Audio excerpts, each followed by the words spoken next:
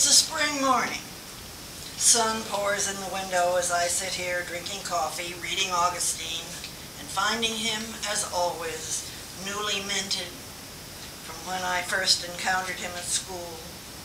Today I'm overcome with astonishment at the way we girls denied all that was mean in those revered philosophers we studied, who found us loathsome, loathsomely seductive, irrelevant at best in noble discourse among the sex, the only sex that counted. Wounded, we pretended not to mind it and wore tight sweaters to tease our shy professor.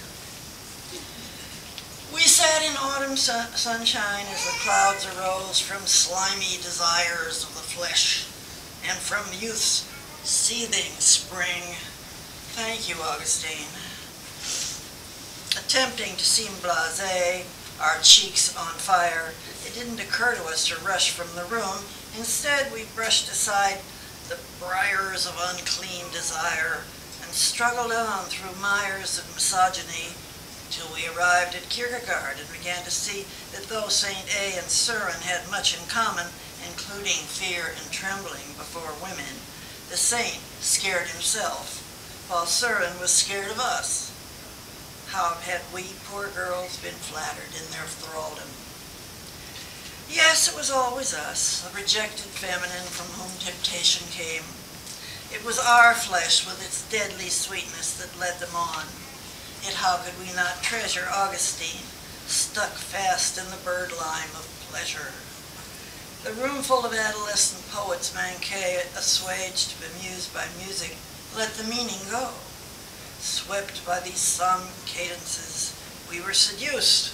Some of us tried for a while to be well-trained souls and pious seekers, enmeshed in, the, enmeshed in the saint's dialectic, responsible for our actions, yet utterly helpless. A sensible girl would have barked like a dog before God.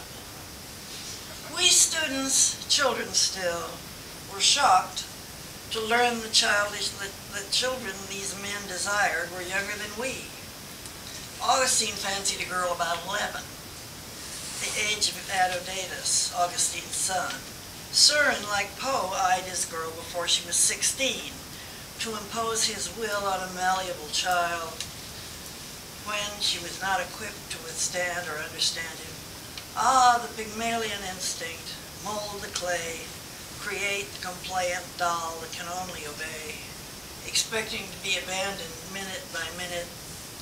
It was then I abandoned philosophy, a minor loss, although I majored in it. There's a lot more, but I think that's enough.